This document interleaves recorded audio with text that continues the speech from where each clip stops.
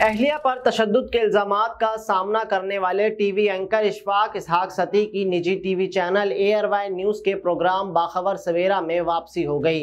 इशफाक इसहाक सती को आज A Y news के प्रोग्राम में साथी एंकर पर्सन सदफुल जब्बार के प्रोग्राम में देखा गया, जहाँ वो मामूल की खबरें पढ़ते हुए अपना तजिया देते नज़र आए।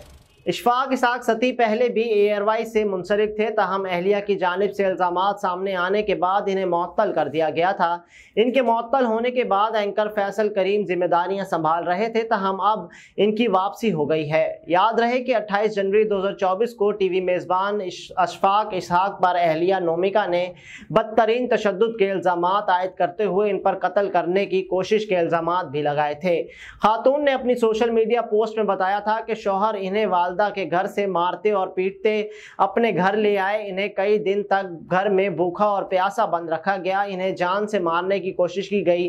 नोमिका ने बताया था कि मस्कूरा वाक़ बाईस जनवरी का है और इन्होंने नाजमाबाद थाने में शोहर के खिलाफ मुकदमा दायर करवाया, लेकिन पुलिस ने ताहाल कोई एक्शन नहीं लिया।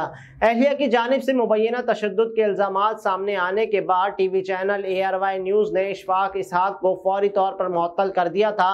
टी वी चैनल इंतज़ामिया की जानब जानब से की गई ट्वीट में बताया गया था कि तशद के इल्ज़ाम सामने आने के बाद मेज़बान को मअतल किया जा रहा है और कानूनी कार्रवाई मुकम्मल होने और असल हक़ सामने ना आने तक वो मअतल रहेंगे। इंतजामिया के मुताबिक चैनल में काम करने की जगह समेत घरेलू तशद के हवाले से ज़ीरो अदम तशद की पॉलिसी रखता है और वह ऐसे किसी भी वाक्य को इंतहाई संजीदगी से लेता है। अलबत् वाक्य से मुतल अब तक पुलिस या अदालती समात की कार्रवाई में कोई पेशरफ सामने नहीं आई।